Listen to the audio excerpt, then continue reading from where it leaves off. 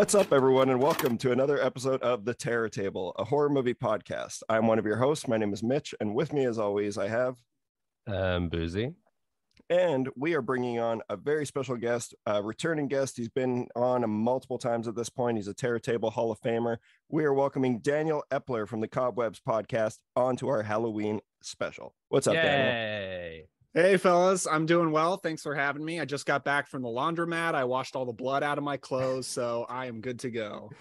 Hell yeah, You, you don't do laundry at home, or is it more inconspicuous to take it somewhere?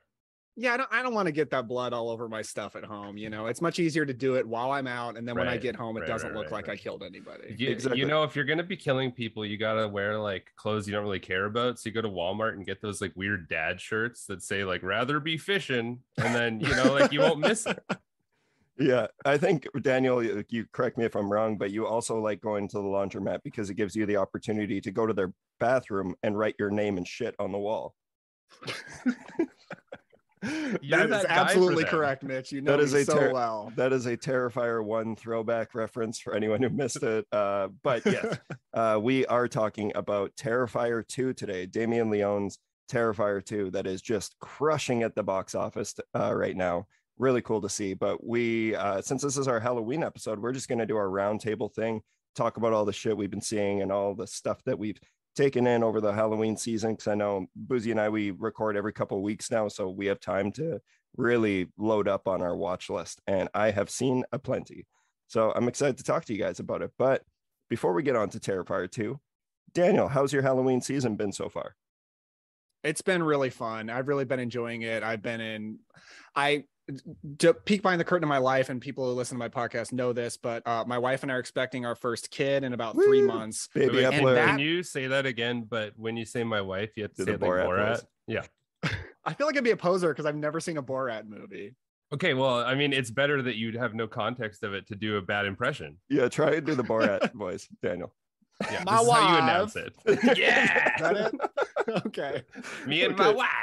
All right, keep talking about the incredible uh, that you're having a baby. Yeah. Well, just that fact, I feel. Well, thank you. That fact, I think, has made my sentimentality about Halloween explode because Halloween Yeah. is like the thing I'm most nostalgic about from my childhood. So I just feel like extra into the spirit this year. Um, but yeah, it's been fun. I haven't seen like a lot of like cool retro screenings at movie theaters or such like that. But uh, I've got the chance to see a lot of really good new horror movies this year. I've got to check out some old stuff that's been really fun. And um, I've just been having a blast. I've been very much in the spooky spirit for sure.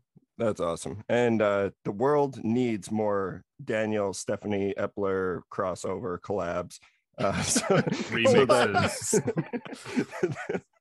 uh, the baby Epler is a, a collab. Um, but yeah, no, that's that's gonna be the coolest kid. And have like they're gonna have the best Halloween season every year because uh, just knowing you and following your social medias and your show and everything, that kid's gonna be exposed to a lot of awesome stuff. Uh, so I'm excited. I'm excited to see hear that kid's podcast someday. Oh yeah, for sure. Yeah, my worst nightmare is that like I'll have to take down all of my horror stuff in my basement because it's too scary for him. But I'm hoping if he's just exposed to it Yeah. since birth, it'll just Right. be normal, you Yeah. know. But not so normal, it's boring. If you like run in with a really scary mask and just scream like a lot, y- it's like shock therapy. You know, you're you're gonna acclimate the baby.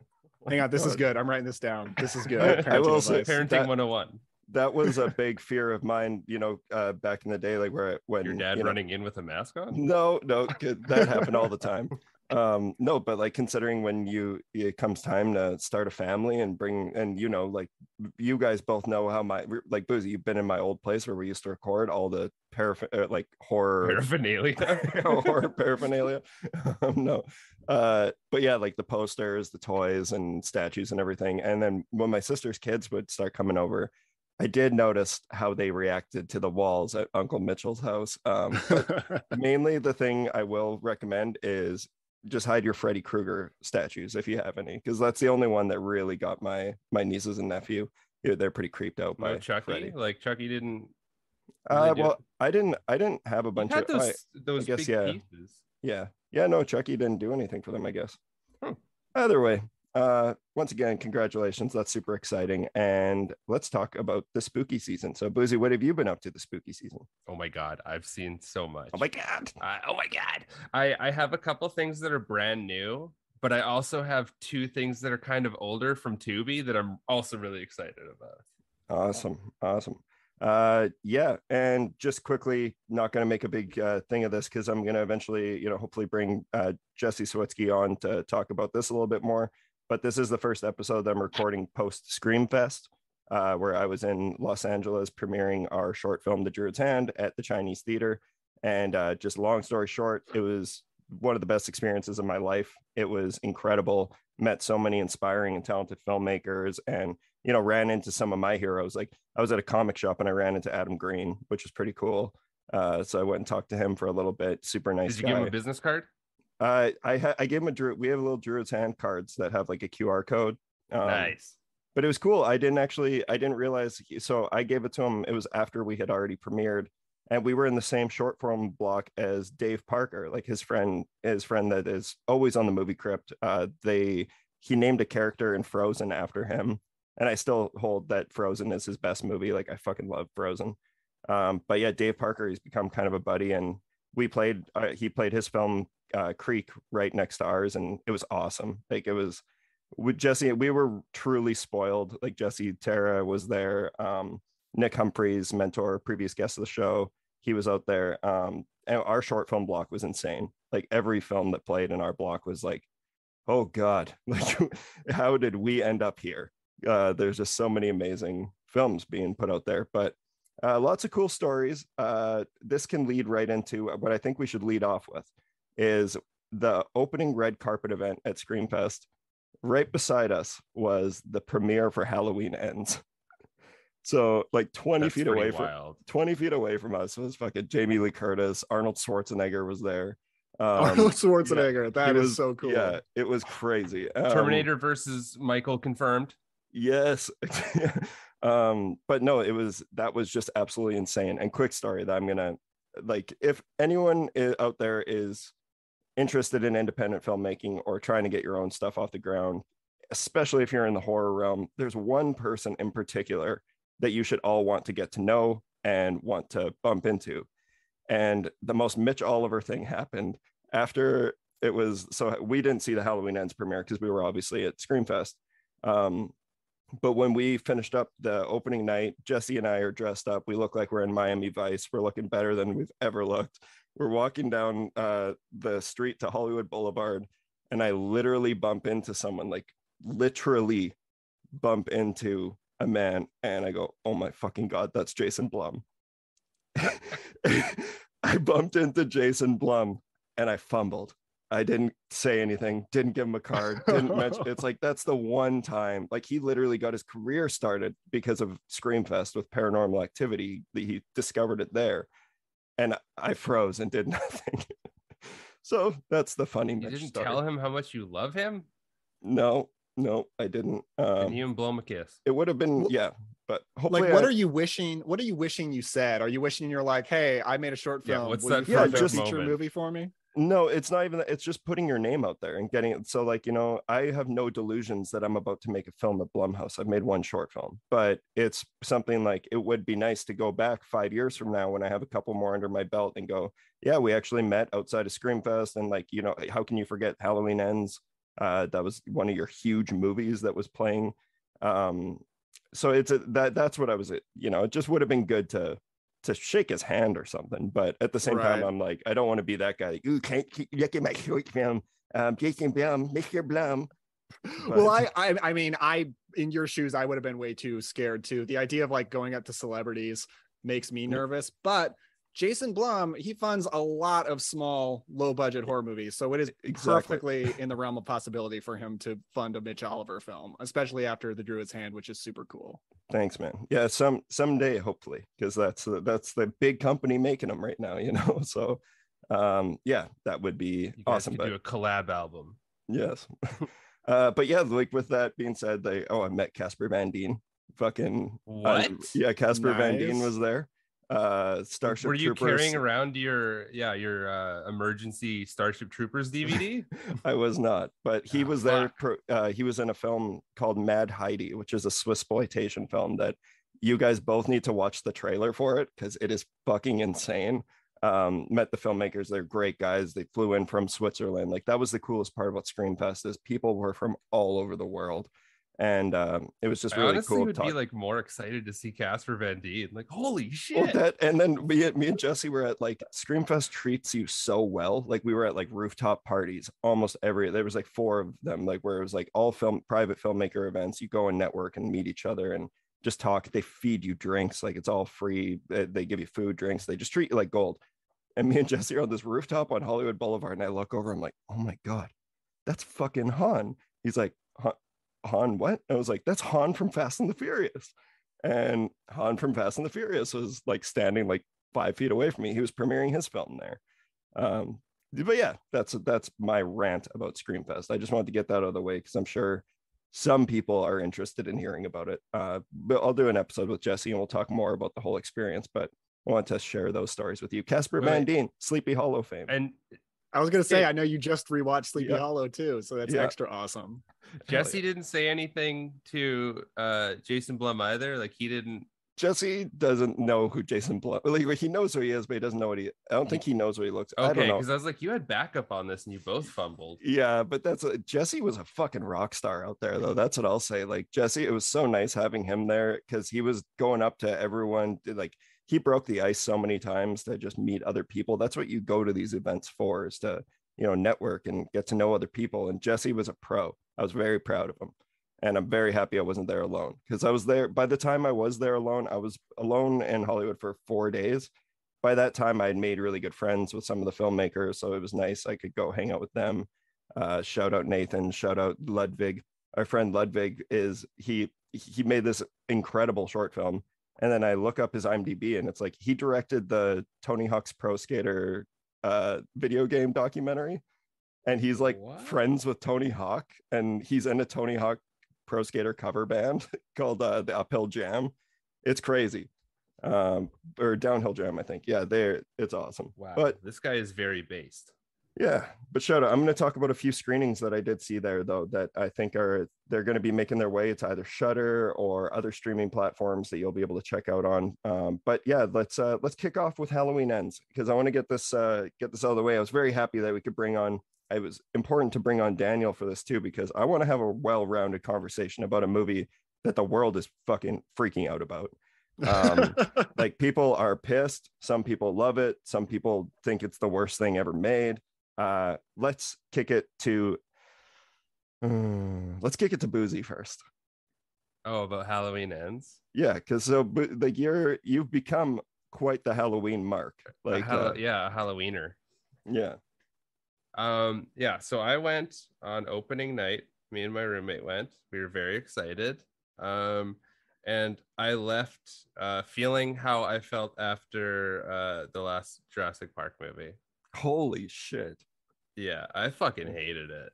yeah I I uh, I, I feel like I understand why people like it, and I've seen a lot of of uh, good good banter about its merit and everything. But I, I feel like a, a story that has spent so much time not on like not only being about dealing with evil, but at the core base of talking about Laurie and Michael, and just having like a very anticlimactic ending. Aside from a cool scene involving a trash compactor. Oh yeah I the, the cool the cool scene for me was the opening. I was fucking losing my shit laughing. at yeah, that yeah, opening. that was an awesome homage. yeah I, saw I saw it at the chinese theater like in the big imax screen that's where i know daniel i can't remember what movie you said you saw there but you're like any movie would be amazing in that it was. Creed 2, and it felt like the greatest movie I'd ever seen in my life. yeah so i didn't have that experience but i did I, I will say i definitely don't hate this movie as much as everyone else does uh, to be completely honest it's probably my favorite of the three uh, but that's not saying much because i'm not a fan of the other ones. Like i just need to i've been battling it for so long i always like you know 20, 2018 tore me apart. I was like i want to love it so much but i just couldn't. And kills i was even like thinking back on when we had recorded our episode I tried really hard to like, and there are things about it that I like, and there's things I like about ends, but the the franchise this this trilogy it's just not for me. Um, but I understand why people are pissed. I think that um, like at the risk of sounding like an asshole, I think that the the people behind it think that they were a little more clever than they are. Uh, because I one thing that's kind of irritating me about this is people saying that it's original and that it's something new. It's like, uh, no, this is Friday the Thirteenth Part Five. This is Halloween: The Curse of Michael Myers, and not to mention the kid's name is fucking Corey Cunningham. I'm like, oh man, just there was parts of the movie that I missed because my eyes were rolled to the back of my head. Uh, but but there were parts that I really loved. Specifically, there's one part with uh, Laurie walking out of a grocery store and she runs into like a victim from the Halloween Kills. I was like, oh, this is really interesting. Like this is something that was a good way to add depth to the community. I like that. Yeah, that and, and I saw what they were going for with with Corey and like uh I think that if this would have been the second one and then they had a third, you know, the final wrap up, we would be having a much different conversation right now. Mhm. Uh, but as as the finale of Michael Myers, it's pretty uh, understandable why people are choked. But yeah, but Daniel, I know uh, you're you you dug it. Let's hear about it. Well, uh, let me explain by saying I hated the marketing of this movie. And I was kind of dreading the movie based on the marketing because, and I said this on Schlock and Awe podcast a while ago, that I felt like the marketing looked like Batman versus Superman. It was like Laurie v. Michael, who's Yeah. going to come out on top, Clash of the Titans. And I'm so not interested in that. I think the Laurie versus Michael storyline has run out of gas long ago. Yeah. I'm so disinterested in it. Um, but I started to hear rumblings that this movie was weird and that nobody's going to be able to predict where it goes. And I was starting to get excited. Um, I got to, I, I had a great experience going to see the movie because my legendary friend Chris Hurtado and I live in different states at this point. Um, but we came together to the same point for a wedding and we got to see it at an Alamo Drafthouse with a few other of our friends. And it was kind of just a great experience going to see it for that. And I really liked the movie because I was so relieved that it was not the movie I expected. I was so relieved it wasn't just Michael versus Laurie fighting for two hours because that just sounds terribly boring to me. And I feel like a lot of people are not thinking about how if you're going to keep these movies going, they need plots. And I feel like nobody wants Halloween movies to have plots. They just want Michael to walk around and kill people. And we just got that for Halloween Kills. It's nothing but Michael walking around killing people. So um, this movie was something new, something different. It was the first time I watched one of these Hollow Green movies where I liked the characters and I was interested in them. I really liked following Corey. This was the first one where I really liked Laurie as well as her granddaughter, whose name is escaping me. I think Andi Allison. Matichak's character, Yeah, Allison. Allison. Yeah, I liked her. Um, but I will say, I rewatched the movie on Peacock last night, and I liked it less. Uh, it makes very little sense. It is, it is a, it is a sloppy movie on most narrative counts, but I still find it entertaining, and I'm just glad we got something different because Halloween Kills was just so boring to me. So give me some kind of a plot, and this movie did. Yeah, yeah, no, I think I'm pretty much in the the same boat. It's I I just like my big problem with it too is obviously it's on a script standpoint, it's the narrative of the whole thing. It is like you said, sloppy, and uh, I could have done without the Laurie Strode Sex in the City monologues. Um, she's just basically talking Oh, over the whole fuck, and like the dialogue is just so so corny, but uh. But that's a part of it. It's you know we're at what like the tenth fucking Halloween movie at this point. Um, 13. yeah, 13. And I will say the the big thing that came out of this, and I'm admitting this now to Daniel, who I know is a fan. Uh, the biggest thing I've taken away from this Halloween trilogy is I am one of those people that it has made me realize just how not horrible Rob Zombie's movies are. Because at least Rob Zombie's movies have style.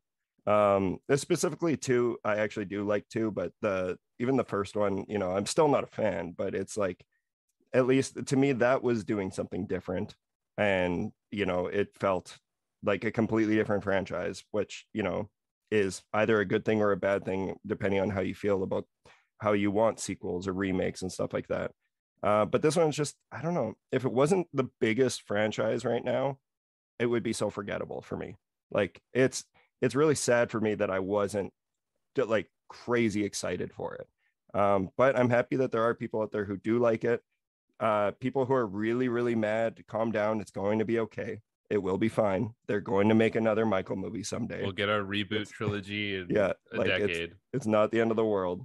Um, but yeah, I did. Bottom line, love the intro of that movie. The kid just getting gooned was awesome.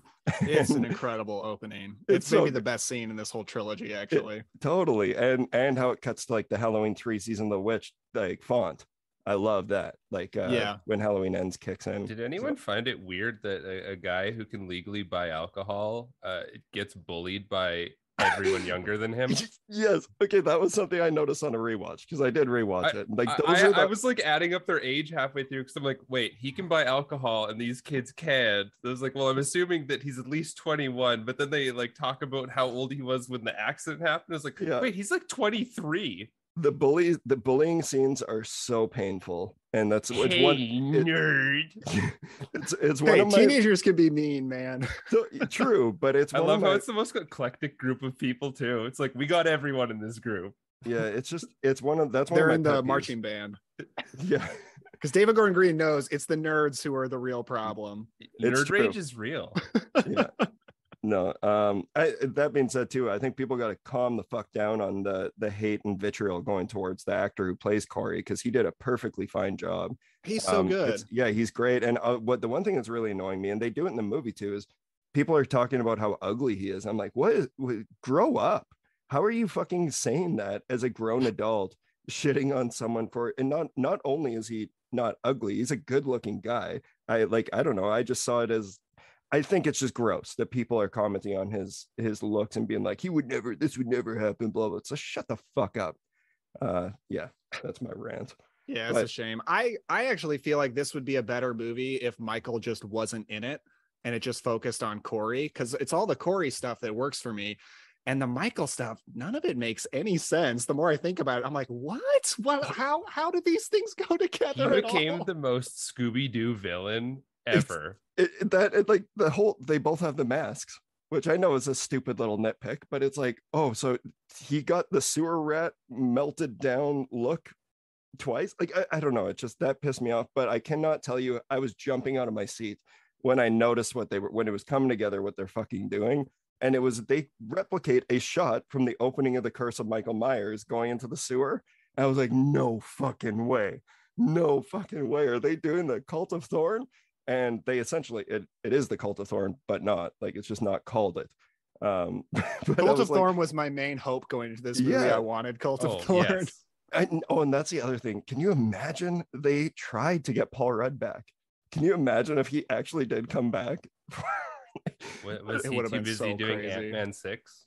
Yeah, well he's Probably. just too busy having a real career and doesn't need to go back doesn't need to go to a fucking back to the the well of a movie that he's been hated on for years like it was his first movie and everyone hates curse of michael myers i don't I fucking uh, love Curse. Was he like Yeah. the Corey Cunningham of his time? yeah he he totally was and uh i don't know i i just couldn't believe that when i saw what they were doing i'm like no way no uh, that and that was what made me like w- parts of it was i was like yeah it is.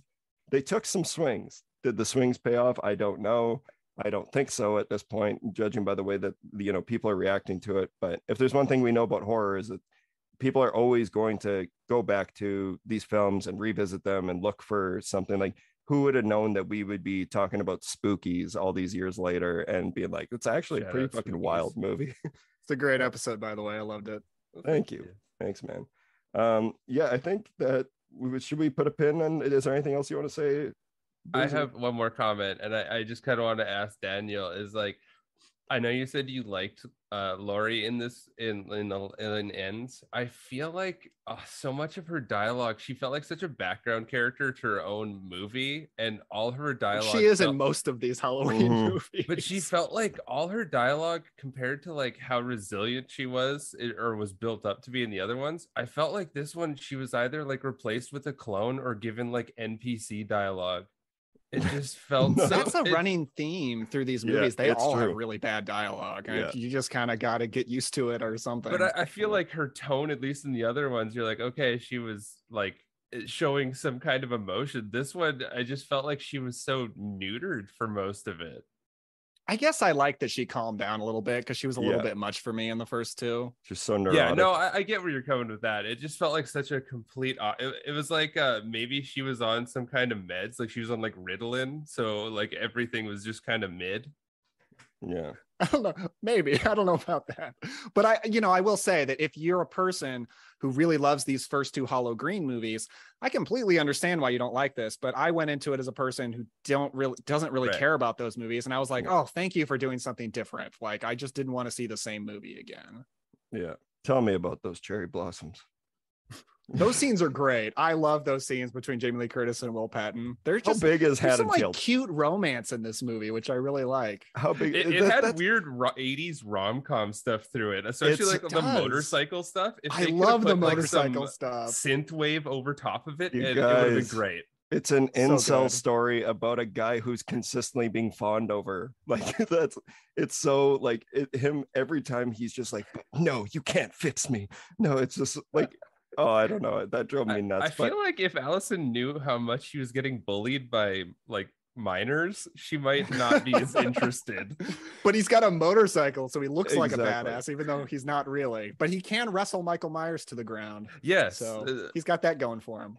true, true. Are we Uh, spoiling too much? I, I yeah. realize we didn't give spoiler warnings. we didn't, but at the same time, if you're We listening to this, it. Halloween ends, man. Like it's everyone's everyone Yeah, should have seen it talk by this about it. point. even if you can't, even if you're not Yeah. comfortable going to a movie theater, you can still see it. It's on Yeah. Peacock. So yeah for sure um all right let's uh let's move on let's see what else you guys have watched uh daniel you want to tell us about something you've you've taken a look at Sure. Yeah. You know, one of my favorite things about the Terror Table is you guys are great about keeping up with modern indie horror. So I did want to talk about one that I watched. I don't know if you guys have seen yet. Have you guys seen Deadstream? Went straight to Shudder. oh not yet I've seen Uh, so many people talking about this. I haven't seen it. they yet. did uh they did one of the segments on vhs 99 as well Mhm. like They the did. and i have you think guys did- talked about VHS 99 on the pod yet? ha- i haven't i, wanted started to today.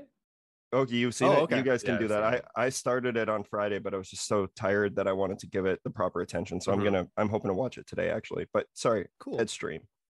Yeah, I, I mean the suc- the success of Deadstream for me is particularly uh, impressive because it's it's normally the kind of movie I don't think I would be into because it's a Mhm. found footage movie with almost one actor, not quite, but pretty close to one actor through the whole movie.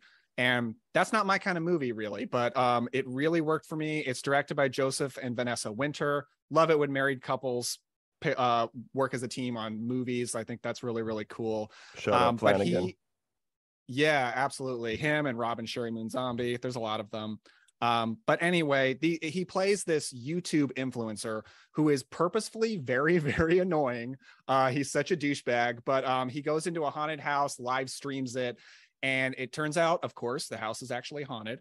Um, but the horror of it is just so wacky. It gets compared to Evil Dead 2 a lot, and those comparisons uh do make sense but i think it definitely has enough originality to it and Mhm. monsters and creature effects of the likes you probably haven't really seen before um it's just really consistently entertaining for 87 minutes when it ended i felt like i had a buzz going like it was just kind of a kind of a high so deadstream is really fun i definitely recommend it So you're you're saying there's still milk in the tank of the uh, found footage.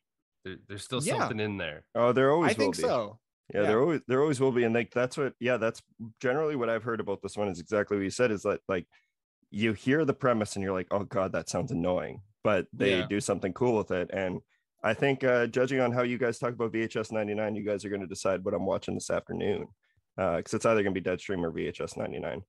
Um, yeah, that sounds really cool. I'm looking forward to checking it out. Boozy, do you want to talk about one now? Well, I was gonna say let's just piggyback off that and talk about VHS 99. We don't have to uh, go that in depth since it's so fresh. that Yeah. people haven't really got a chance to check it out. Daniel, I'll let you go first. Yeah, VHS 99. Um, I these VHS movies are usually such a mixed bag for me, but I am always looking forward to seeing another one because there's just such an air of anything could happen in these movies, and you can just be walking into absolutely anything, and the curiosity always gets the best of me. Um, I like the first two okay. Uh, there are certain segments I love, certain ones I really don't like. I never saw Viral.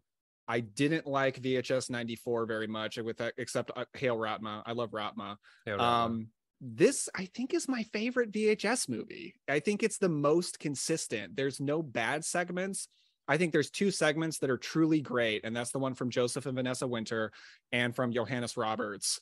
Um, Ooh, those two. Oh my God, they're two of the most fun horror anthology segments I've seen in a long time. And the rest of them are still pretty fun. And like, there's nothing bad in this movie at all. So I was a big, big fan. I really liked it.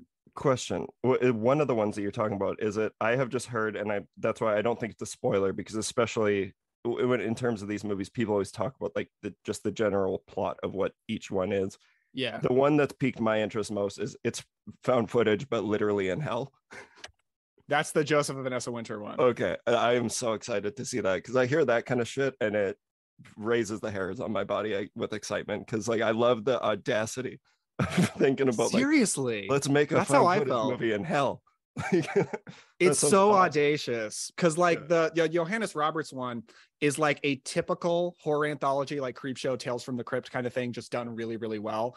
But then that one is so inventive and audacious. It's Yeah. really, really impressive that they went there. Awesome. Buzi, what were your thoughts on it? You're a big fan of this franchise. Yeah, and I I actually having mulled it over quite a bit, I found that like 94 is my favorite. I, I just feel that like the strong segments are really strong and the weak ones aren't that weak. Um so going into this one, I was super excited. Like I watched this the first day it came out. And I uh, I feel kind of the complete opposite. Not that I I hate these segments or think that they're not well done. I it's I think it's just and and maybe that's that's why people like it is I it's so much different than 94. I feel like it's uh a lot how do I put it? I, I feel like it was it had more comedy in this one. And it was a little more fun. And you know you I- hate I horror hate to- comedy. Yeah, I, I really do. And that's what Uh, oh, I'm not sure if you watched one that like like my favorite horror movie of the year this year. I'm just dying to know what Buzi thinks of it because uh it's what I'm not sure if you're going to talk about it, but I just know that you, I'm curious because you seem to not like anything that has some kind of like comedy or Mhm. heart. Yeah, like you, you like the dark shit.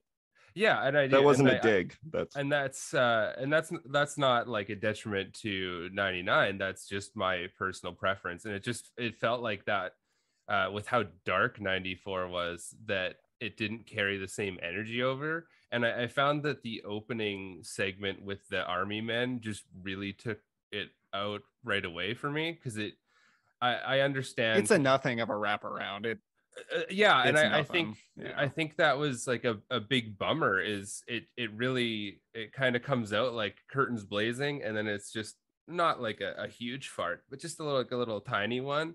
And because it, it really you're starting to feel like well how are the wheels turning that this is gonna wrap itself? All it is is like these figures. And it just imagine I don't know. Buzi writing for Bloody Disgusting. Where it's not like a big fart; it's just a little little tiny one. it's silent but deadly. I don't know. It just, it just it was like da, da, da, da, just like a little a little toot. Um, but yeah, there there's some wild fucking segments, especially the the game show one. I I can't remember Yeah. the name of that one. It's I- just it's so bizarre. it's uh oh. Uh, so I I'm not Oh yeah, talking hundred about it. I'm not talking about until I finish it, but I did start it and I saw so I know what you're talking about the army soldiers and I actually like I'm into it so far. Uh Yeah. I just like was too tired and I want to give it I'm going to start it over. But that is straight up Canadian television programming with Oh, yeah, Wink Yahoo. 100%. Uh-oh.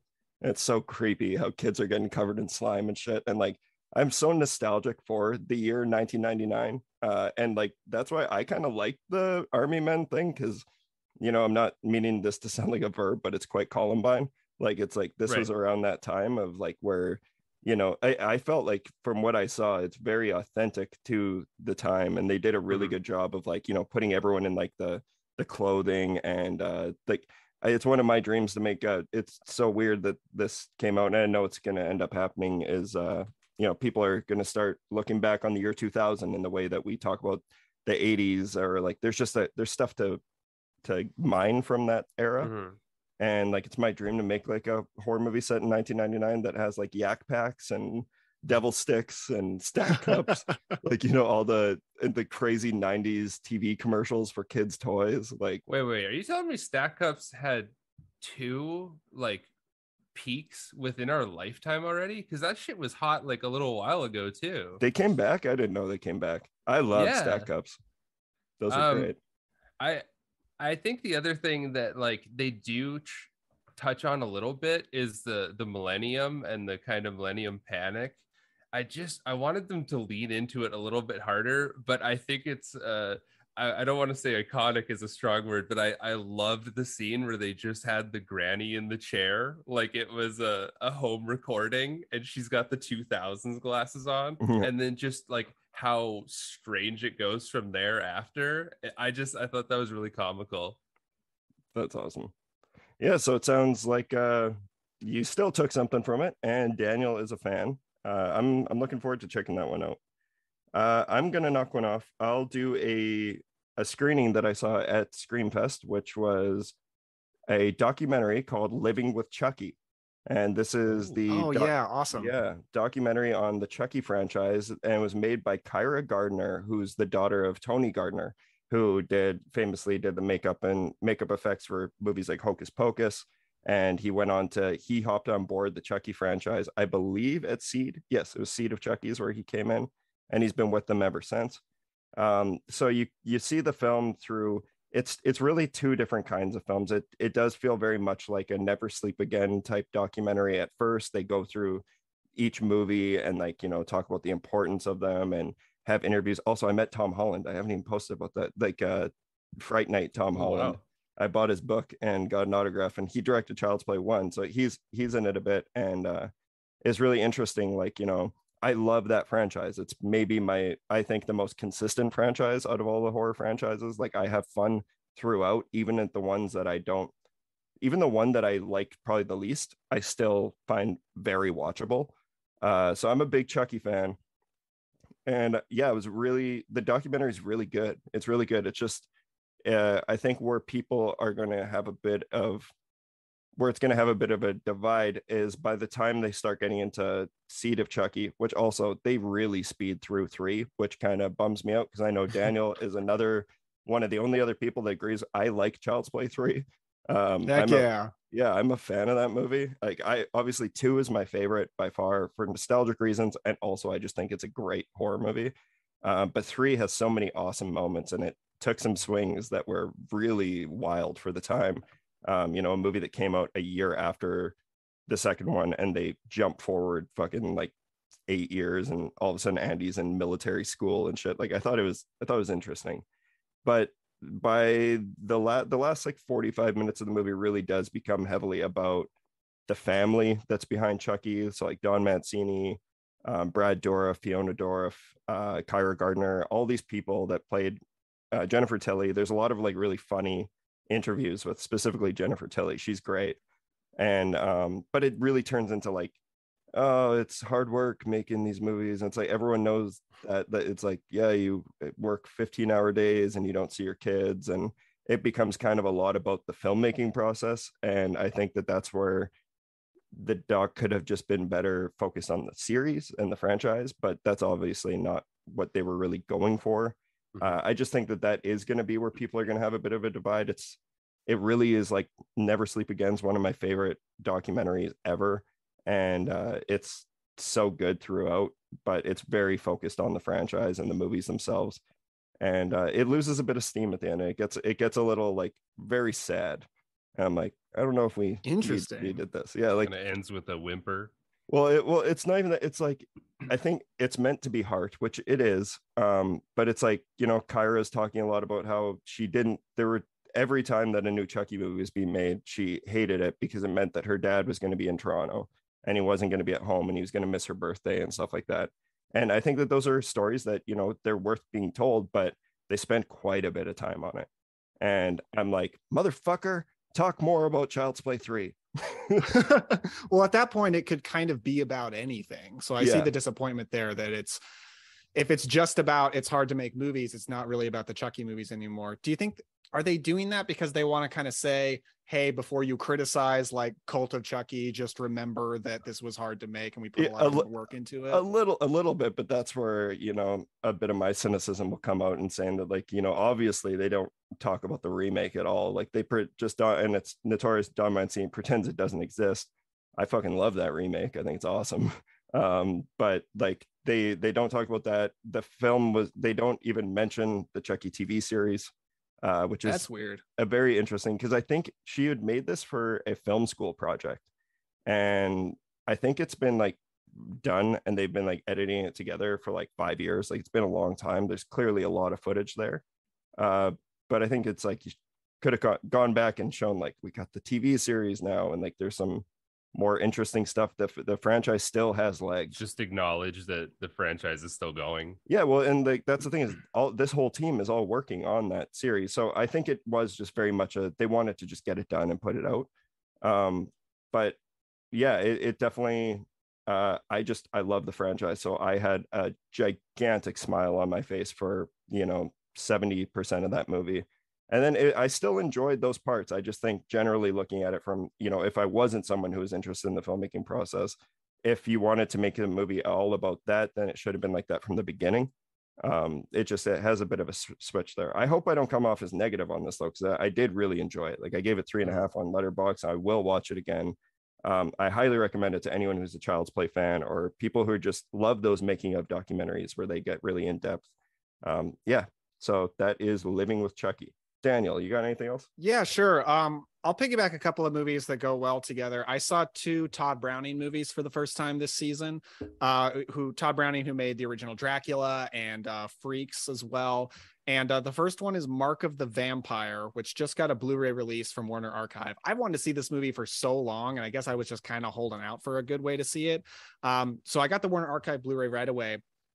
And this is from 1935. It's also starring Bela Lugosi and you know it, it's it's kind of a sad thing in horror history that while the sequels to dracula are good uh, they don't have bela lugosi so we never got a bela lugosi dracula sequel.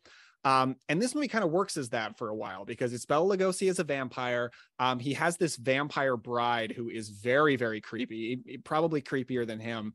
And then it's also starring lionel barrymore and lionel atwill and for a while it it plays a lot like dracula except his vampire bride plays into the story much more. And it is such a good gothic vampire movie. It's got maybe even like better gothic imagery than dracula. It's kind of tod browning building on that and going bigger with it. Um there's so many cool just crazy cool gothic horror shots in this. I will say for people who want to check it out it has a twist that is not satisfying and doesn't make very much sense. So that's kind of a bummer. But the rest of the movie is so good. I definitely recommend it. I'm, And I'm then the- checking out some images. Sorry, not to cut you off here. Oh, I'm no, checking out for it, some images on uh, the old internet. This seems really cool. I, I like a really lot of cool this looking. imagery. Uh, I I do have to say though, just looking at what uh, the uh, Blu-ray release cover, they could have they could have uh, spruced it up a little bit. I like it. I think it's cool. I like original poster art and they because I think uh, especially with older movies Mhm. that tends to look better than like original slipcover art. I know Mitch has thoughts about like Scream Scream Factory slipcover art, so Some of them. imagine I wouldn't get much pushback. I, I just that. love seeing the creativity that someone can bring to some of those because sometimes you can uh, bring people into watching things or buying things by just having a little bit so- something different. Th- That's how I got into the gate too. Um, but yeah, it's- exactly. I, I've gotten I- caught on a lot of Tubi movies that way. I love those uh those old school like you know old school Hollywood horror posters. So I'm looking at the Blu-ray here, and I I think I'm on Daniel's side on this one. Like I like that kind of stuff, but I know what you mean. Um, yeah, I haven't seen this one. I want to check it out. Yeah, I'm gonna add this to my list. I uh watch a lot of this has been like this has been my really my Halloween season is you know movies that are stuff that would be talked about on cobwebs is uh you know I've really that's what gets me into the Halloween spirit this year is watching like you know showing my roommate like Mark uh, Mask of the Red Death and old Vincent Price movies that I love so much so that's cool Yeah, and I love using this season to kind of seek out the ones that I haven't seen because it's a it's a limited pool. They're not going to make any more 1930s and 40s horror movies, Yeah. so you got to Hey, dig. and maybe find they'll ones you uncover seen. something in a vault. That that would be great. Uh, London After Midnight. Let's find it. yeah That would be great. Um, the other one I'll just touch on real briefly. It's the Devil Doll, and it's also starring Lionel Barrymore, who was Mr. Potter in It's a Wonderful Life. Uh, that's probably where most people would know him. But this is a just bug nuts bonkers horror movie. It's about these these guys that escape from prison and one of them is a scientist and he's created a way to turn people small like six inches in height but he can't figure out a way to shrink them he's doing it because he's like well we'll have an unlimited food supply if people only need a tiny bit of food um, but he can't figure out a way to make their brains still work once he shrunk them Oh, I So thought once you he meant he was gonna eat the people. no. Once he shrinks them, he can control them with his mind, but he can't give them free will. And that guy dies. And Lionel Barrymore then takes the experiment and uses it to take revenge on the people who framed him and got him into prison. It's a crazy movie, but it also like has this really uh meaningful emotional heart to it that I was surprised. And by the last scene, you almost feel like you're watching a Frank Capra movie, and you're like, wait, I, I just watched these tiny little people kill somebody in an earlier scene. Um, Tod Browning's a weirdo, and it's a weird movie, but I really like it, and I'm really hoping Warner Archive puts that on Blu-ray soon because this is definitely the kind of stuff they've been doing lately. Awesome. So Mark of the Vampire and the Devil Doll. That's cool. Uh, yeah, Buzi, do you uh, do you want to talk about something else? yeah, I have something very fun and exciting to talk about that I'm very excited about. I have never jumped into the Wishmaster series. Oh yes, Oh, yes. and I just I I have watched one and two so far, and I will say that that one is kind of slower paced, and I, I feel like doesn't entirely know where it wants to go. Two is truly a shining light. It oh felt my god. oh What man, the fuck? two reminded me of like Terminator 2. I straight up, it was so fun. I, I think that it reminded me a little bit like the the guy who plays the Djinn when he's in human form. It, it's like a slapstick version of Demon Knight. Demon Knight's pretty slapstick too at times. No, but Um, like I, I feel like the the Billy Zane character Yeah. and this character like have some similarities in terms of it's kind of serious at certain points and like threatening, and then it just goes really wonky. I cannot believe that take. the Wishmaster 2. I had so much fun watching Wishmaster 2. Man, it, not Wishmaster. one- Like, I think Wishmaster 1 is a fucking blast. Like, that It's movie so is so wild. It's so wild. It, I don't know if I've ever made it through two. Oh man, I've never tried to watch any of the sequels because I have never ever heard a single good thing about any of them. and I love the first Wishmaster. I've watched it many times. So thank you, Buzi. You finally Yeah. given me motivation to pop in my Vestron Blu-ray of Wishmaster 2. I I would love to hear what you think about it. I don't know. It just it felt oddly charming to me, and I want to continue with this franchise now. I, I it's hard Oh. to take this franchise seriously, just overall. You're not supposed But- to. Yeah, ex- but like yeah, I don't know. Andrew it Divoff clearly so tells you fun. you are watching camp right now. Yeah. Yeah. I, I just I love it. I feel like they're doing such a good job of making this Djinn character just more and more aggressive and weird. And yeah, I just overall I loved it. Wild. That's awesome. Well, maybe I'm gonna have to. We should do a Wishmaster series sometime. I, I don't hope know that like someone's going like li- I, there's a Tubi analyst going like why the fuck uh, are our stats on Wishmaster 2 going up? Yeah. it went from zero the last six years to like five. oh my Would you say Wishmaster 2 is the Terrifier 2 of the Wishmaster franchise? Oh god. Well, I, I can't say that for sure because I've only seen one and two. So, but like I don't know. I, I- I feel like two, I guess, would be a good comparison. Like they, they are you I saying think they there's up, like five the? Wishmasters. They did up the end. I found that the kills were a lot more gruesome. I feel like they gave a little bit more budget to it overall. Wild. Oh my god. Okay, I need to watch Wishmaster too.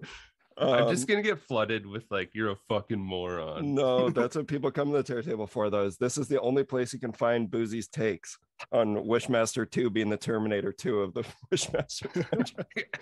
oh my Quote god. it. Yes, uh, box cover if it didn't come out 20 years ago. Um, all right, yeah. So that's Wishmaster 2. I'm quickly just gonna hop on a movie that I'm sure I've talked about on the show before because it's a classic. Talked about many times. Saw The Lost Boys uh, on the big screen with uh, Jason Patric in attendance, and that Q and A was uh, conflicting for me because there was moments where I'm like, oh my god, I love him so much, and then there's moments where it's like, god damn, this man is out of touch. like he, he said, what I'll say in the positives is, okay, first off, if anyone out there ever has the upper, if you think you've seen Lost Boys but you've never seen it in a theater with a crowd, you haven't seen the Lost Boys. It works so much better with an audience. It's one of the best examples of movies that I've ever seen that I've seen multiple times at home and this was the first time in the theater and i can't even tell you how it's like it's a different movie when you see it with an audience because it's so much fun. It's so it's goofy. It's genuinely scary at a couple moments.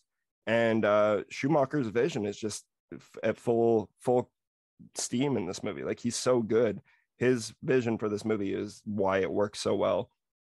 And that's something that uh, jason Patric talks about a lot like when he was at the doing the q&a and yeah, he he said a lot of really nice things about him, and like there's some cool tidbits that I'm just not going to share because I'm not that's not interesting for other people. But the movie's great. Uh, Jason Patric did say he's like, well, this was the movie that actually invented like there wasn't soundtracks to movies before. Oh my god, Lost Boys. Like, motherfucker, what are you talking about? 1987 Yeah. invented soundtrack. yeah, Yeah. they didn't they didn't think of it before then. It was a Oh, foreign concept. and he he took no he held no punches in talking about how much he hates everything new and like you know all like Oh. you know they even they were alluding to like the hell like you know brian collins was the one who was hosting the q&a and he was like um would you have any interest in doing like you know there's lots talks about legacy sequels and like bringing the lost boys back. Would you ever go into it? And he's like nah sh- shit's all crap. It's all crap. It's like you're saying that because you know it's never going to happen. You're never going to be asked to, to come back. Like jason patric is uh he's great he's amazing in the movie. He's so good in that movie and he's amazing in sleepers. I think he's a great actor. Um but i'm going to move on from that. Lost boys rules.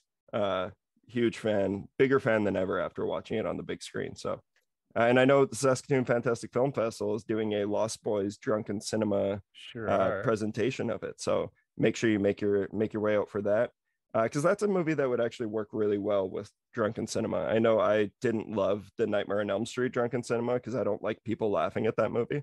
Um, yeah, that it- movie is way too grim for that. Yeah, and you know, like that's why I just don't think it. Like I think drunken cinema would be great for the Lost Boys because it's like the the comedy is so intentional and so like in your face and all the like the cheese of it, like the sax man. It's like none of it is like hateful laughter at the movie or like be like, Yeah. oh my god, this is stupid, this is bad.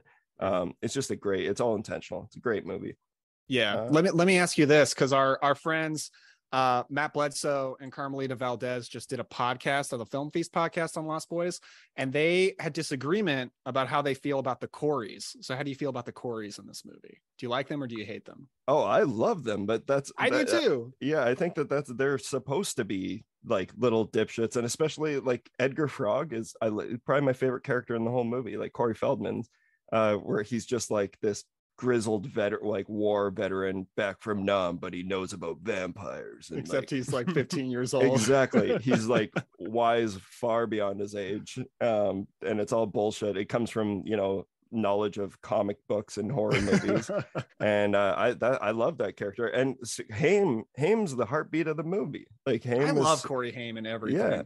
yeah, and he's so good. Like the classic line, "You drank someone's blood? Are you crazy?" Like it's just such '80s cult pulpy. Oh, I love it. I I need to. I haven't listened to that episode yet. I'm curious if I'm gonna have to argue with Matt on that one or No, Matt Matt is pro Corey's. Oh, okay. Carmelita is very anti Corey's, and she says, I'm speaking for her, but she feels like the ending is a tragedy because she wants the vampires to kill all the good people. Oh, I disagree with that. But I, and I love listening to Carmelita. Like she's amazing. But Carmelita also loves Alien Three and Exorcist Two. So um, we're gonna we it's it's great when everyone has you know just different opinions and uh, it's fun you know discussing those. So uh, yeah. Either way, that was the Lost Boys. Does anyone else have anything else they want to talk about? Well, Mitch, I saw on, I thought I saw on Letterboxd you started the Cabinet of Curiosities, Yes, and I sir. just started it last night too. awesome. I'm curious Yeah, about this. How are you guys feeling about it? So You're curious about the curiosities? yeah. I am. Uh, I okay. So everyone knows huge Guillermo Mark. Uh, big big fan. Uh, I think he's the perfect guy to be like a horror host, and like the way that he introduces the each episode is just awesome. Uh, I didn't love Lot 36, like the first one. Um, I liked a lot of parts about it, but it is one of those things where Tim Blake Nelson just plays a brutal racist, and it's like very just him being a miserable racist piece of shit for the entire duration of the episode. And I understand that that's the point, but it's just not fun hanging out with that character. And uh, by the time he does, like things wrap up, it has an incredible reveal, and uh, you get some real Guillermo isms in the sense that it's like the creature. I'm really, really like the creature there. Uh, but Graveyard Rats was one that I'm like, Buzi needs to see this. Like that uh, episode two, I fucking loved, and it's Those got are two words together that make me happy. yes you you would you are going to love graveyard rats and that that's what i just like about cabinet curiosity so much already is uh you know they're all standalone episodes. You don't need to watch the whole thing if you don't want to but each of them so far i've only seen the two. Uh i've got taken something out of both of them. Uh, but yeah what are you thinking about it daniel I'm pretty much in the same boat. Yeah, I love that Del Toro now has his Alfred Hitchcock Presents Yes. show, you know, and nobody deserves that more. Lot 36, I thought was okay. Actually, I- the main thing I liked about it was Tim Blake Nelson's performance. Like he's a horrible character, but yeah watching horrible people suffer is kind of the staple of horror anthologies. totally yeah. Um, but it's super talky and just listening to people explain mythology to each other for a long time until you get the horror at the end, and it's really CGI, but um, it's okay. Graveyard Rats, I just fell over myself over that. I Yeah. loved it. It's it's like Barbarian but with rats, basically. yeah, I It's know. It- crazy. it is so fucking good and yeah Buzi So you're good. gonna love it it's episode two all you gotta do like just click on that I'm that so one. happy that I, I haven't seen Barbarian yet, so I don't get either of these references because I, I don't want Barbarian to be ruined for me. And so far, so good. Yeah, no, you it's on Disney Plus now, D Plus, baby. So you gotta gotta get on that. I will say that the that's what I was alluding to. Barbarian's my favorite horror movie of the year by far, and uh, I like shared a post on Instagram saying like Barbarian is now on Disney Plus, so you are all obligated to watch it. I have not had that much interaction in my feed.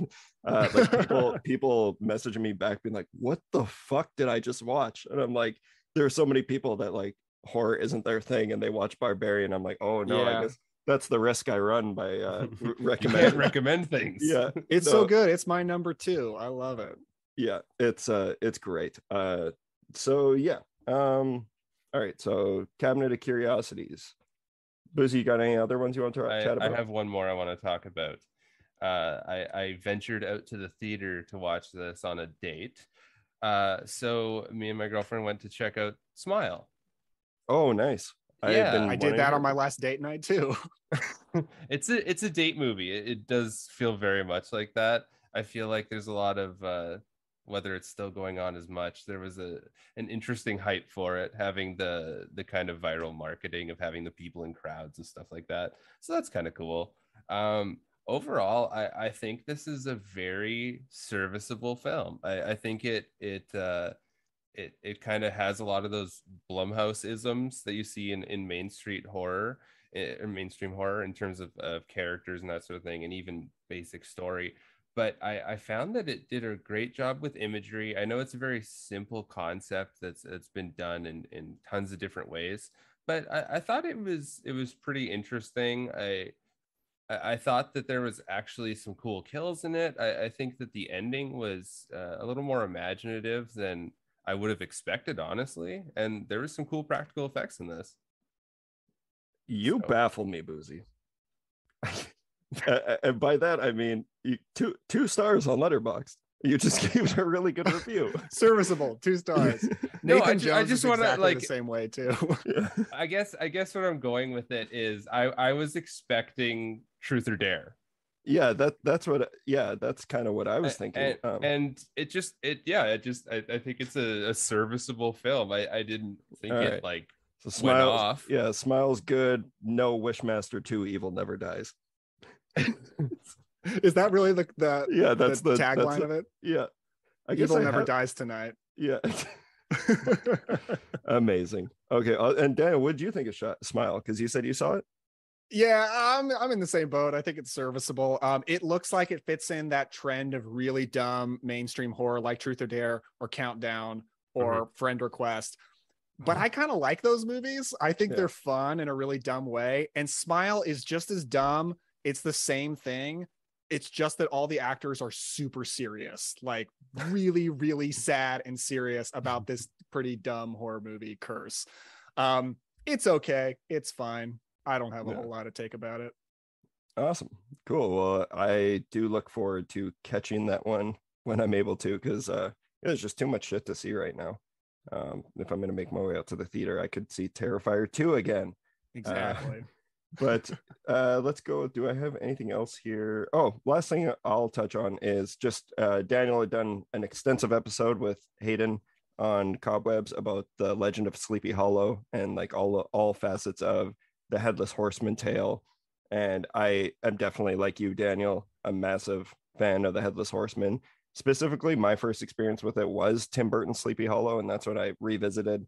It's one of my favorite movies, honestly. It made me the goth boy that I am today uh like that was the i there's something about sleepy hollow i saw that in the theater with my dad when i was way too young and it just rearranged my brain in a way that it made me love like the gothic aesthetic. And even though you know uh, i think you guys even talk about it with like a lot of people at the time are like oh it's like a hammer movie but it's like it's really not because it's completely devoid of color and everything like that.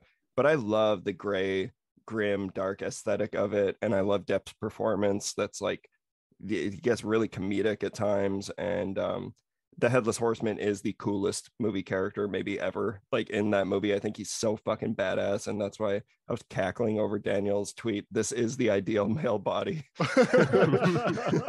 this is what peak performance looks like um great movie it oozes the halloween spirit for me so uh, I am happy I gave it a rewatch for the hundredth time. But uh, if it's been a while since anyone out there has seen Sleepy Hollow, I, I, it's such a great film. That movie terrified me as a kid. Like you're talking Yeah. about the headless. That's horseman. I was awesome. like, Yeah. uh, yeah, no, uh, that and I remember being like really creeped out by the witch scene, like the the Mhm. one part that's like heavy CGI, but it works because it's Burton. Um, like when her eyes fly out of her head and shit. I remember that scaring the hell out of me. And I remember losing sleep over um what I call the chokey. Uh, I don't know if you guys have seen Matilda. Uh, do you know what I'm talking about? moons ago.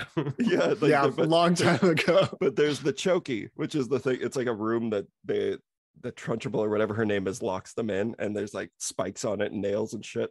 That part in Sleepy Hollow, where it's I think it's like Depp's mom is is in it. It's like a oh, mu- it- it's yeah, from um, it's like a Pet, mummy. thing. Pit, uh, Roger Corman's Pit in the Pendulum. Yeah, yeah, yeah. Okay, and when it opens up and the blood just pours out, I'm like, oh, this is peak Halloween shit for me. Like just the Yeah. aesthetic of the whole thing. But yeah, I loved it. Uh, do you guys have anything else you want to talk about, talk about? I'm No, I'm, out. I'm excited to talk about art. Yes, let's get into we we're going to take a brief little break here and then we are going to be talking about Damien Leone's Terrifier 2. So, did you figure out what you're dressing up as tomorrow? He wants to dress up as a real guy who murdered nine people last year. Oh, you're not doing that. It's just a costume.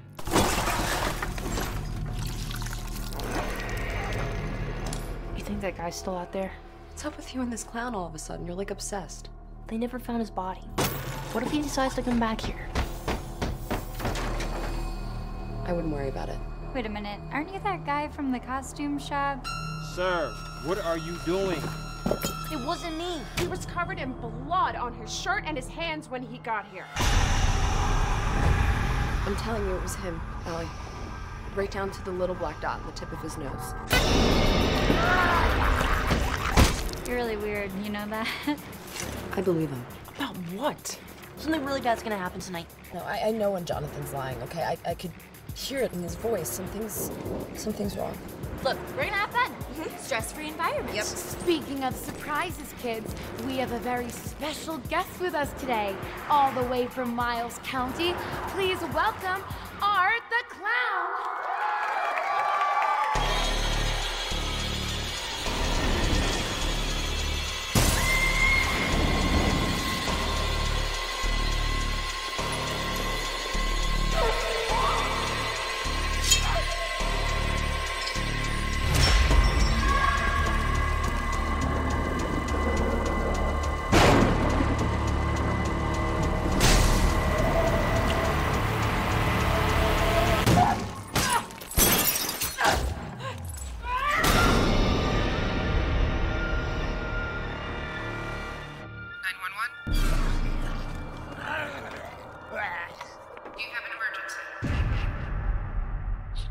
And welcome to our main feature presentation where we are going to be discussing Damien Leone's Terrifier 2. Uh, so this is the sequel to the film that I know we talked about on the Terror Table like a while back. It would have been when Diego was still on the show. Mhm. Um, we talked about Terrifier 1, and I know we had a mixed response among the table. Uh, I think out of the three of us, yeah, Bo- Diego and I were fans. I think Buzi, you weren't you weren't crazy about it. Um, but with this new Terrifier 2, it, it's breaking records right now. It is a movie that was made for $250,000 and it's currently over six and a half million dollars at the box office. It's a huge win for horror. It's a huge win for this team. And uh, I, I'm just going to lead us off and get it right out of the way is you guys, we have a new slasher icon uh, in Art the Clown, and it is glorious. Uh, he's amazing. Uh, thoughts, Buzi, not it, you touch on in your own words, uh, Terrifier from the original.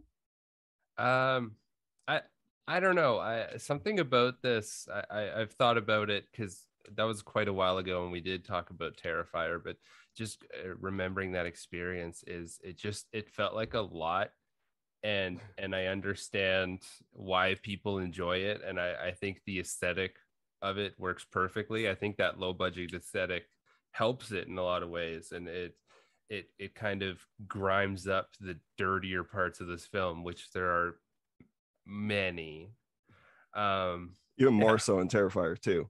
yeah, They, found really- a way to up the ante. They really up the ante, and and once again, yeah, like I, I do have to commend that it's it's wild that it got made for that much, but also I, I feel like it it is not a hindrance in any way for them. I they they rocked it. Yeah, I think Damien Leone, he's originally a makeup effects artist and he does all the makeup effects himself.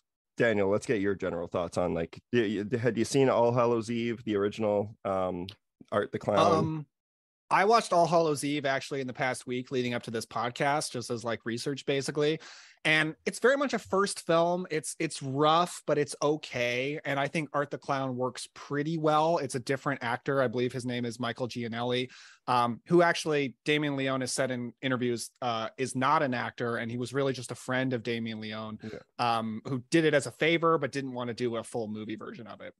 Um, and I saw Terrifier in 2018 around the time it came out, and I was like right down the middle on it. Um, I respected the fact that Art the Clown was so creepy because I recognize that's not an easy thing to do because Art Mhm. the Clown is very much not just a creepy clown.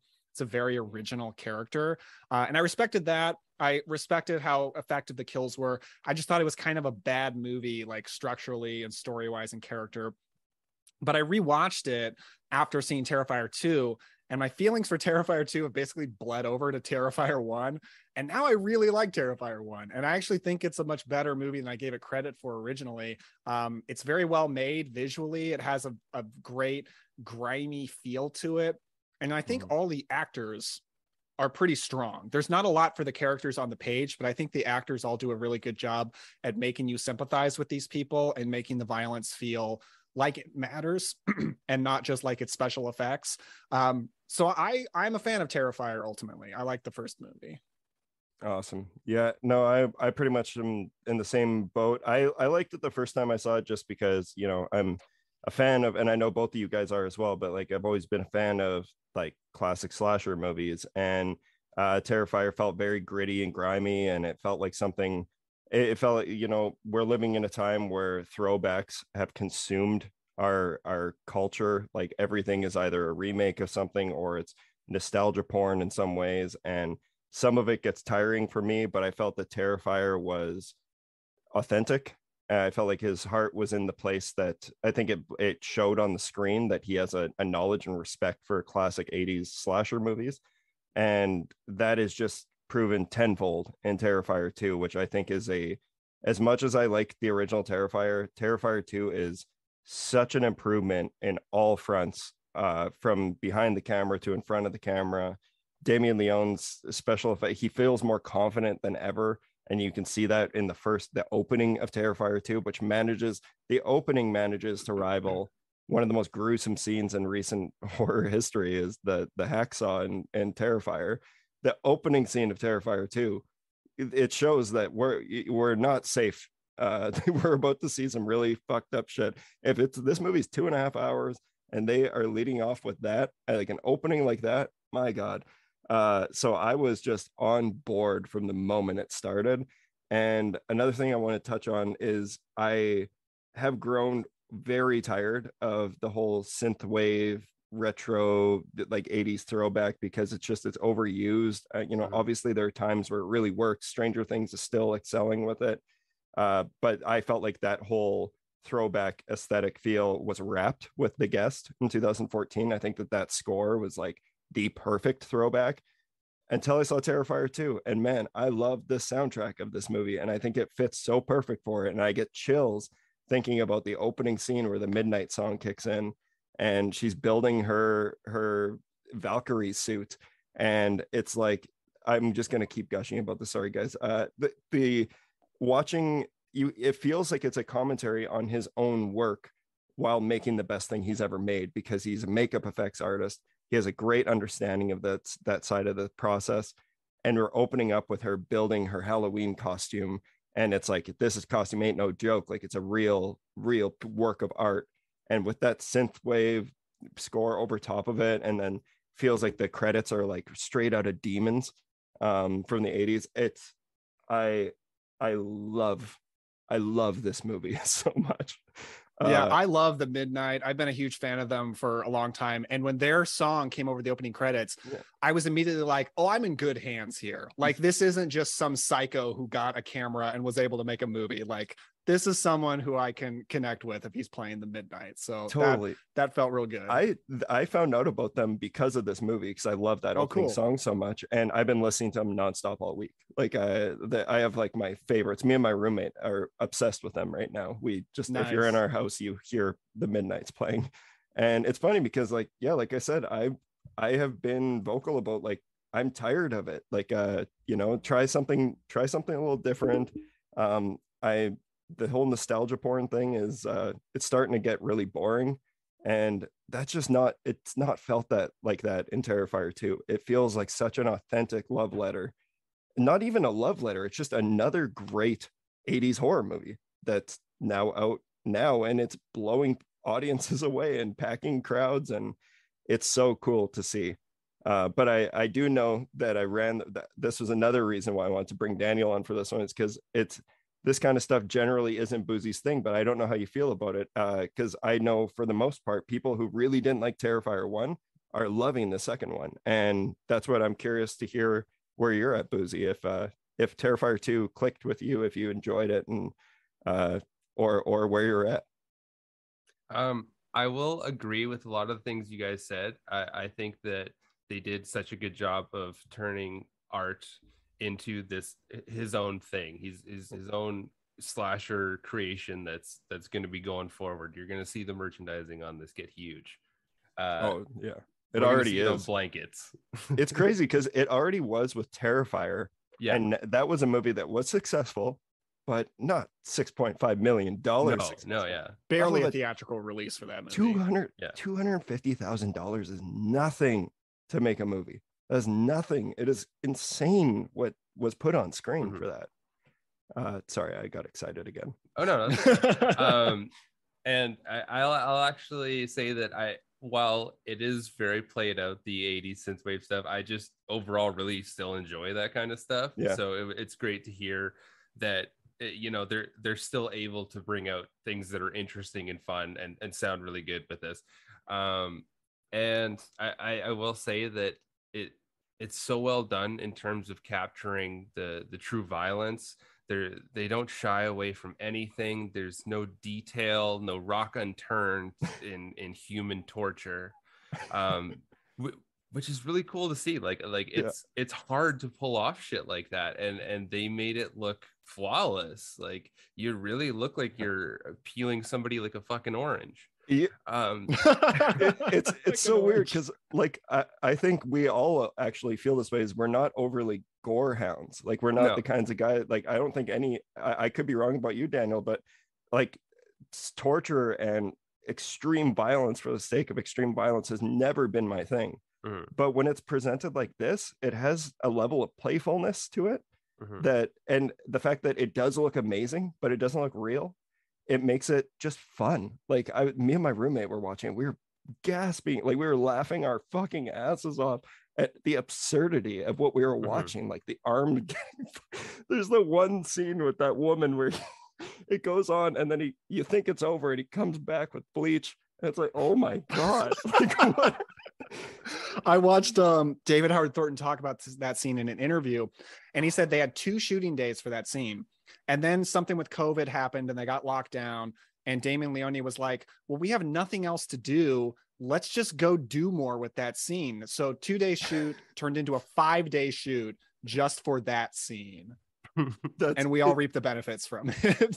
And that's it, we're obviously we're gonna jump all over the map here and then find our way back to a normal conversation but it's the excitement of this movie it's, there's so much to talk about but we gotta like you just mentioned david howard thornton who i just fucking love as a human being and as a performer he He's this- so he's like- great.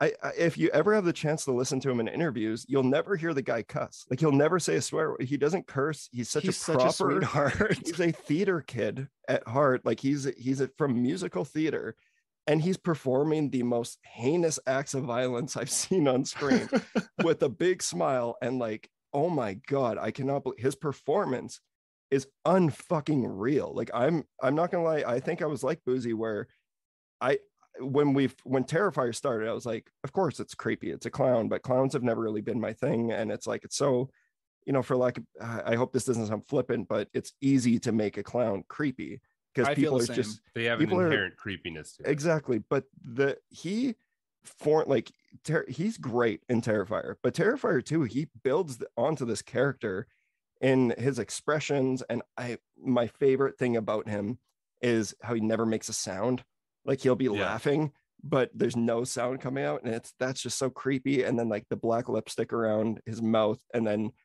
the, the way he works with his teeth he's a, such a physical performance and it's like looney tunes meets rowan atkinson meets freddy krueger Mhm. like it's it's unreal he does use uh, Mr. Bean as a comparison of influence a lot in interviews. totally and you can see it you can see it in his performance and it's so funny thinking about because i grew up a huge beanhead uh, i don't know if we call those is that a is that what we call the fandom beanheads I was about Sure. to guess other names, but I realized we probably Beaners? shouldn't get. Yeah, no. beaners uh yeah no Buzi let's hear let's hear more because uh yeah two and a half hour movie for a sequel to a movie you Yeah. weren't even really a fan of so that's kind of where I, I wanted to div- divulge further. Is I, I'm overly not a fan of this film. I I get why I see all the reasons why people like it. It's I it, the simple thing for me is like it it was too extreme. And uh, I, I think when you guys are talking, like you guys are, are kind of gushing about that bleach scene, and for me, there was like I don't know, like it, it, it felt like too much for me at that point. And that's and fair uh, totally yeah, fair and and I don't feel like I'm that squeamish. I just I felt like it was, and I I love dark things. I love things that are are just fucking mean and and torturous to the human soul and body. But it, this is on a different level, and that yeah that is you know for a lot of people like you guys included. I'm I'm Daniel. You've already said off the bat you really liked it, so um for a lot of people that worked and that and that worked works within the film i it just for me it the the length of it and just how fucking violent it was it it was just hard to to get through. So i don't probably know if- exhausting for you. Uh, yeah i i don't know. It's just uh, i there wasn't a lot for me to latch onto i feel like like the the characters are there but i i didn't really connect with any of them and maybe that's just Oh, me. yeah. So i love i love her yeah so it just f- overall it was uh, a very violent experience and uh, kudos to them for making something that made me feel really uncomfortable Yeah. No, it's it's amazing when like the, even the most like because you're a very seasoned horror fan. You've seen a lot, and the fact that it can still make you scream, and it's it, it's gratuitous. Like that's that's I why think I, when when people sorry I just, when people talk about like uh, there's all the buzz about how like people are like throwing up and and fainting watching this I I get it but uh, I don't know it's just like dude I didn't need that like you you you don't want that feeling. Is that what you're saying? yeah and it's not that I I felt that it's just it's like I can understand how people felt that way Yeah. Yeah, no, it's this is definitely one that is not for everyone. Like this is Mhm. not a movie that I would recommend to it. I recommend it to specific types of horror fans. And uh, even I have I have a couple friends in Saskatoon who reached out and they're like, "Hey, have you seen this movie? I'm going to see it tonight." And I'm like, "You are the last person I would imagine going Mhm. to see Terrifier 2." And I talked to her after the movie and it was like, yeah, like people are not ready for this. Like the fact that it is getting into so and it's just hitting theaters in Canada now. Mhm. So like that 6.5 million dollars that it made is from like the US.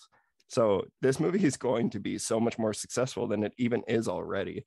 But so many since it's so Terrifier, we saw at the film festival, Saskatoon Fantastic Film Mhm. Festival, and like that's where you go to see these kinds of movies, not in mainstream cineplexes and landmarks. And it's crazy to think that a movie like this is making it to those screens and making it in front of such a wide audience that it's not made for. But at the same time it's it's unbelievable how it seems like people are generally reacting to it. They're they're really taking to it. And you know it's got great reviews. And um, for the most part people seem to to be just obsessing over it like daniel and myself. Uh, but yeah it's it's just a wild time. Yeah this movie felt really it. It felt really special to me because when i was going into this movie in theaters i felt nervous i felt kind of scared walking in there and i never feel that Yeah. going into horror movies but i was like i don't know what i'm getting myself into here and when i see art the clown for me it's the first time i have felt like i knew what it was like for people in 1984 who saw freddy krueger because yeah I love Freddy Krueger with all my heart. Freddy Krueger doesn't scare me. I've probably just seen him in media way too much. Um, but when I see Art the Clown, he makes me nervous. Like he is a really, really scary figure. And I just love that he's not an homage to like a past slasher character. He's such an original character. Yeah. He breaks so many slasher rules. I mean, I feel like it's almost an iconic moment at this point in the first Terrifier when he Oh, busts out a pistol. amazing that's my favorite like- part of that movie yeah, like this guy will do anything. There Yeah. are no slasher rules that apply to him.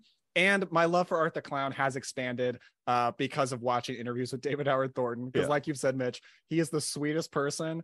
I'm so happy for him and his success. yeah Like, regardless of Damien. what happens, Yeah, yeah, regardless Damien's of what happens to either of their careers at this point, they'll be able to make a living off of horror conventions for the rest of their lives. Like, just Absolutely. because of these movies. Yeah.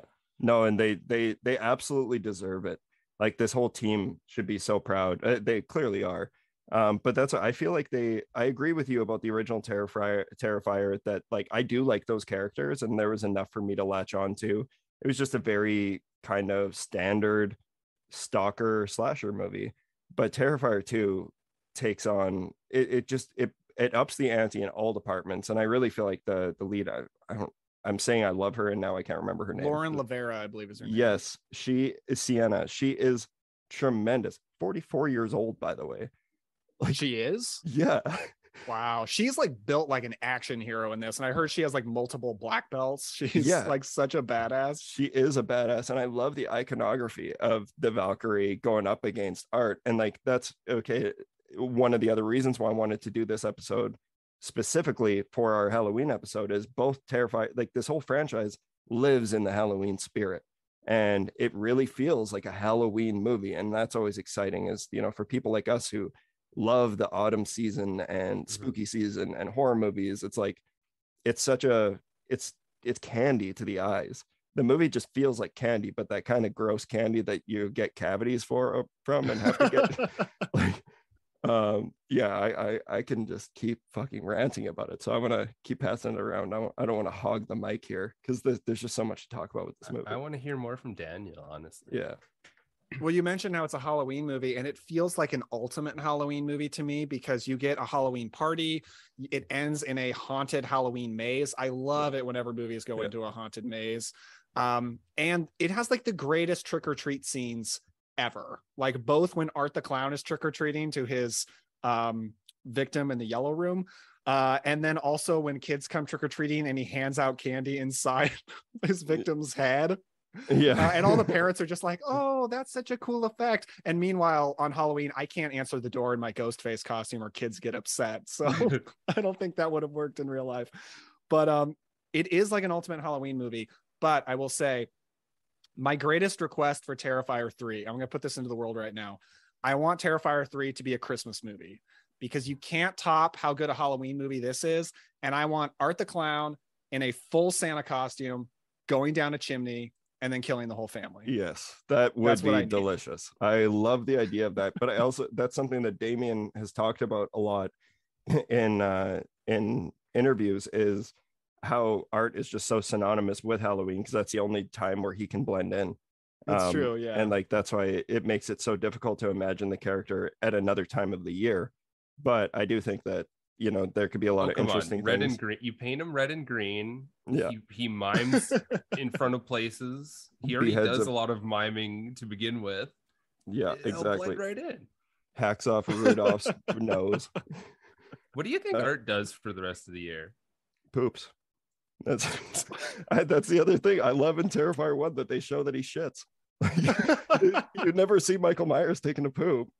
no, like does Michael Myers go to the toilet? Because we know he eats. I know, He and eats the dog. that's and that's okay. This is you know divulging a little bit with a conversation that happens a lot with the Druid's Hand recently. Is like people are, you know, since they now have someone to talk, they watch something and they go, oh, I can ask you questions about it. Like what? But how was she able to be on the stage and then all of a sudden she's up in the room and then all of a sudden she's at the the pyre?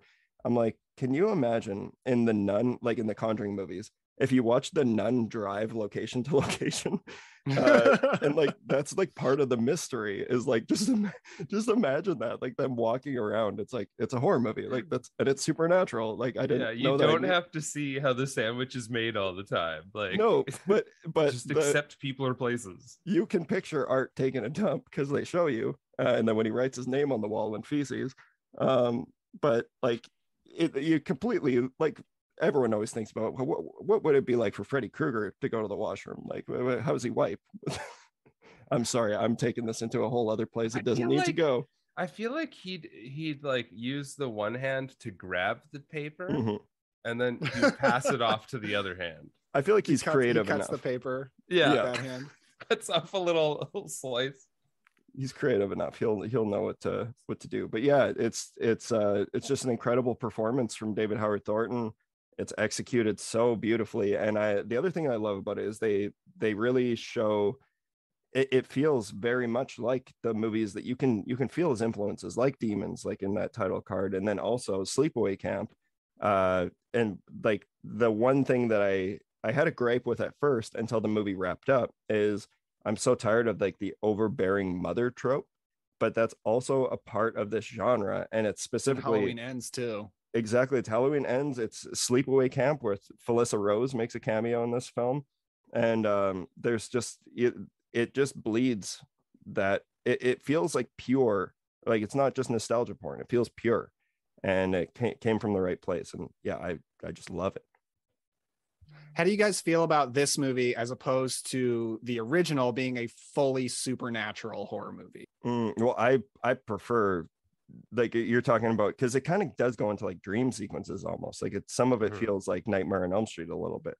It yeah, there's a lot of supernatural. I mean, for one thing, Art comes back from the dead, so you've got that. Yeah. But also, he's got an imaginary sidekick uh, that also our two main characters can see and nobody else can see.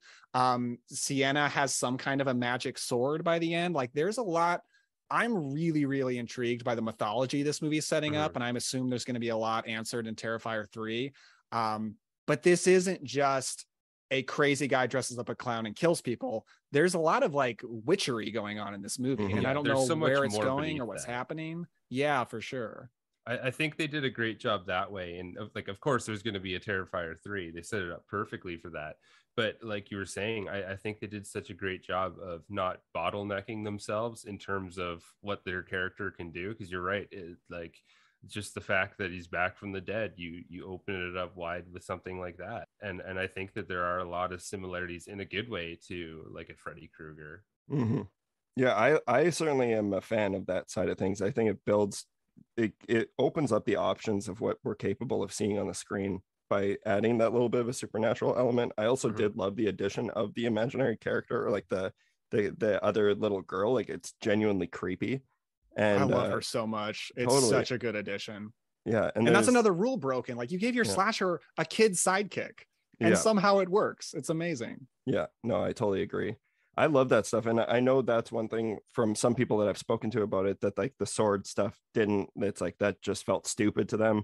But I'm like, everything about this is kind of stupid. Like that's like, and I mean that with love. Like I, Mhm. I like the over the top nature of it all. So like when you add in a like a glowing sword, I'm more so just I was just excited at that point. And uh I don't know, I feel and uh, with the help of the score and like the the midnight song and it just starts to feel epic. Like it feels so much bigger than what we saw in Terrifier, which once again I, I enjoyed, but everything just feels bigger. It works. Yeah, it really it really does. And I I think the first Terrifier is kind of like the first Texas Chainsaw Massacre, where the first time you see it, it just feels like psychos got a camera and made a movie. But then mm-hmm. you see it again and you sort of see the the filmmaking and what the director's doing. But this movie is so much more of an epic. Um, I do think there is some big supernatural mythology going on that we don't fully understand yet that I Mhm. am extremely intrigued by and very excited about. And also the reason that like I, I like Damien Leone so much, I think he's getting dismissed a lot as immature or an edge lord or something. Ye- But I think he's so much smarter than people realize. And I Yeah. think he cares about his characters so much. And like that's what I really need in a movie like this. I need protagonists to really, really root for. And he gives us that because I I love Sienna and her little brother. They're so great. Yeah, no, I entirely agree. And that is something, yeah, like it's so easy to dismiss movies like this. Like even Terrifier 1, I can understand how people would feel that way because it is like, of course, it's going to be shocking seeing a woman get hacked down the center of her body and like it's gratuitous and everything. But there is, like you said, there's so much more to his vision that you, you can't just dismiss him as as an edge lord. Um, there there are plenty of other examples out there of filmmakers who do stuff like that where it's like you just know that they're doing it for because it's going to it's cheap it's going to get a reaction out of you. But he hand builds all this stuff and like i know you shouldn't need to know that to enjoy the movie but it does make it so much better knowing that it's like when you're seeing that absolute brutality like specifically the yellow room the victim with the one that goes on for fucking ever um it's just it's so there's something about it that it's it's yeah it's gross but it still feels fun like it It does, yeah. It's, it's so not- it goes so far that it lets you know it's fake and you can just have fun with it. totally it's like and no disrespect to people who like the saw movies because i they're those movies have their merit and everything but there's you, you don't feel that way when you're watching people get ripped apart in those movies and i guess on, on the flip side something else that did it really well this year was hellraiser they have moments like that too Mhm. and it's treated completely differently like it's so earnest and serious and it works in my opinion.